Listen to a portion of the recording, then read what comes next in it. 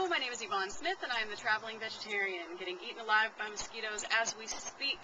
I'm on my way to San Francisco in two days for a reunion of sorts, and I'm going to actually be doing some filming there at the Loving Hut in San Francisco. I've never been to that location, so I'm pretty excited to try it out, and uh, I'll be able to share some actual pictures of food and eating and all that kind of stuff with everybody soon, so I'm very excited about that. Um, also just excited to reconnect with old friends and do all that kind of stuff. So I'll be in San Francisco and Santa Rosa, which is my hometown, and um, it'll be a good it'll be a good trip. My car rental is costing me $400 for four days, which is total insanity.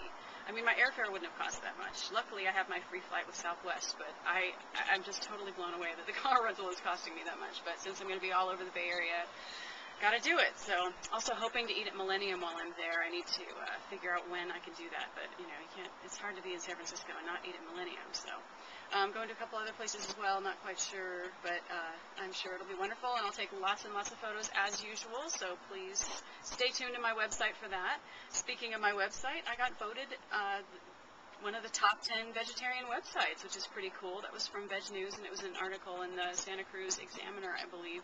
Um, I have the uh, the link to that article on my Facebook page, but I need to post on my website as well. So, um, and also speaking of my website, I uh, just posted a restaurant review um, for all you Nashvillians that are watching. I went to Bound'ry the other night and called ahead and told them that some vegans were coming, and they went crazy. They, I got a six-course meal. It was amazing. It was really um, a pleasant surprise for Nashville. I mean, not to say that we don't have great chefs in Nashville, because we do, but um, they, I wouldn't say that a lot of them always rise to the challenge. Um, the way that the way that Bound'ry did. So I'm really, really excited about what they created for us, and that is all documented on my website. I put pictures of every course, and that's all there for you to see if you are interested. And uh, while I'm at it, I wanted to talk about some more food-related things, of course. That's what I do. One is that I made an amazing, I have to say myself, it was really good, uh, basil cream sauce the other night. It was just three parts cashews, 10 parts water, one part um, ume plum vinegar um, in the blender, and then, you know, just blend it up so that it's it's watery, and then put in a couple handfuls of basil. I had some CSA fresh organic basil that I needed a use for because it was starting to get, turn brown, so I threw that in put it over the stove. It thickened. I mean, cashews are amazing. They thicken just like any other cream sauce is supposed to. And it was this rich, creamy, basil-y.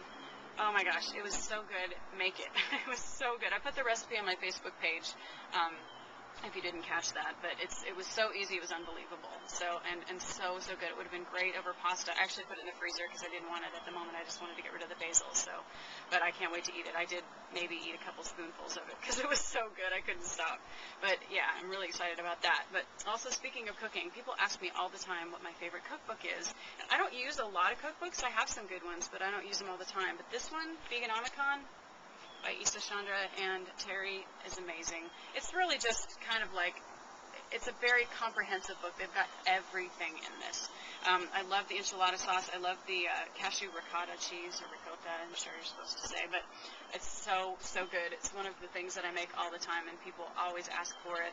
People sometimes joke that they just invite me to places just so that I'll bring the cashew ricotta. So I, I hope that it's more than that, but they do love it. And in the summertime when basil is fresh, I throw some fresh basil in that too, and it's amazing. Another book that I really love is Great Chefs Cook Vegan. This is by my dear, dear friend Linda Long. I absolutely love this woman, and I love this book. It's just full of the most beautiful, beautiful photographs. And she basically inspired a bunch of chefs who were non-vegan to cook vegan food. So good on her for doing that. I love doing that as well. Of course, I didn't make a book out of it, but she she went the whole the whole nine yards and did that. So I really am getting eaten alive by mosquitoes out here, so I'm going to cut this short. But thanks for tuning in. Um, I will talk to you soon, and I'll hopefully have all kinds of really cool photos and news from my trip to San Francisco. So have a great weekend. Thanks.